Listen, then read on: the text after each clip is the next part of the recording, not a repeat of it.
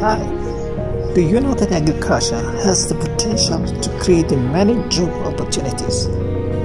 It starts with land preparation and irrigation. Just look at how many people are selling fresh corns from nearby farms in Otavi. This is what competition in business is all about. If you're shy, you want to make money. Just observe how these vendors are trying their best. You see cars coming, they see money coming. Anyway, they need some assistance in order to get more organized so as to increase the profit margin, at least for now.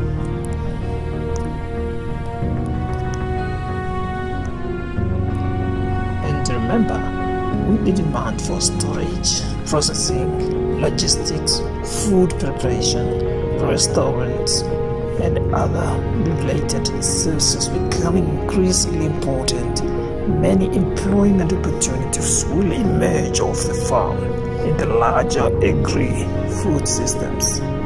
We definitely need to explore agricultural opportunities.